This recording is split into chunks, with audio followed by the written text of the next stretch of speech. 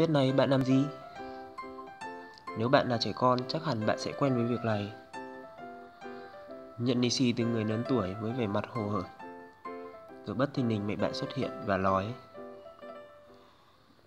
Còn nếu bạn là một thanh niên sống ảo thì Một là chơi game cả ngày Hai là chat chít online Facebook Trong khi đó Ngoài kia có biết bao nhiêu em nhỏ phải lên nương, phụ giúp gia đình, cơm ăn không đủ lo, áo mặc không đủ ấm. Ước mơ của các em là được đến trường, được vui chơi học tập cùng các bạn cùng trang lứa.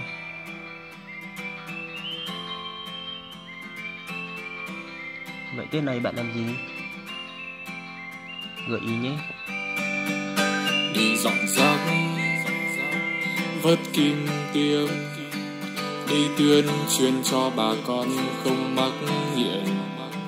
Đi khuyên chị em đông con hãy nên đặt vòng, đi phát áo mưa cho các anh chồng.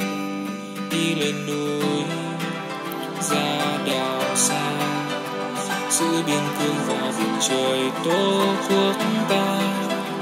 Bầu đây, hãy thương